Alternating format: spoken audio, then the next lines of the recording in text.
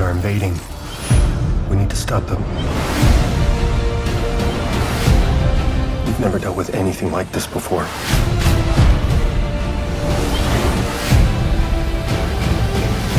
My mommy is Lava Girl, but my daddy is Shark Boy. You're just children. What are you gonna do? How do we defeat the aliens who defeated all of the heroes?